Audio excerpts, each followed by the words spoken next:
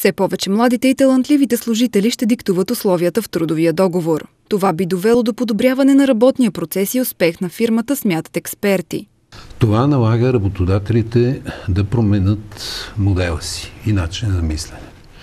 В момента това се случва, за съжаление, понякога по метода на пробите и грешките, но бих казал, че около 20% от фирмите в България, особено тези, които са с чужестранни инвестиции, започват да провеждат нови диференцирани политики, да управляват различията, да си дават сметка за задържане на млади, талантливи, способни хора. Оказва се, че младите обръщат голямо внимание на възможностите да се развиват и да бъдат значими.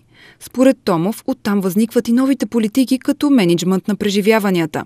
Това означава, че не се прави само продукт, а се дава и преживяване на потребителите. Именно за това все повече се обръща внимание не само на колектива, но и на отделния служител. Това съображение в бизнеса по-често води до повече свобода на служителите да работят от вкъщи, заяви за телевизия Европа психологът Младен Владимиров хоум офиса, а, дома се превръща в място, в което работим, докато пък а, там, където работим е място, където се забавляваме, може да сме по пижама, по чехли, може да каним приятели, да ги почерпим от фирменото кафе. Този домашен уют предизвиква ли желанието на повечето млади хора?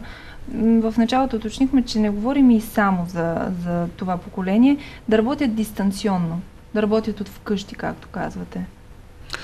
Значи, това е свързано с различни сектори различни бизнеси, които позволяват това нещо. Тежката индустрия, например, където трябва да се работи на място непрекъсваемо, не е възможно.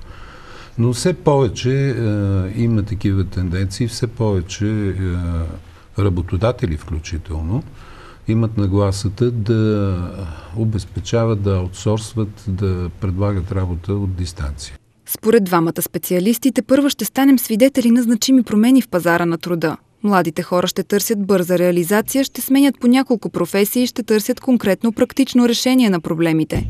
А за да отговорят на изискванията им, работодателите трябва да са наясно, че става въпрос за много динамични и свръхсоциални личности, за които работата ще е преживяване, а не просто начин за прехрана.